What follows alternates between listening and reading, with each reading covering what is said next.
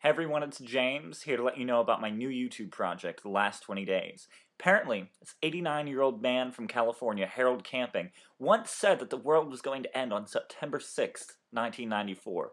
Got tons of money from people, totally invested everything they had to help promote this, and never happened. And now, he's back again, saying that the world is going to end on May 21st, 2011. There's going to be a major earthquake. Jesus is going to come back, take a select few, leave everyone else behind. October 21st, 2011, the world will be covered in dead bodies.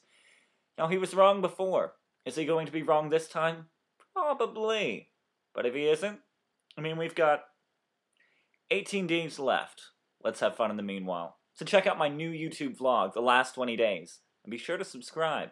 We've only got 18 days left.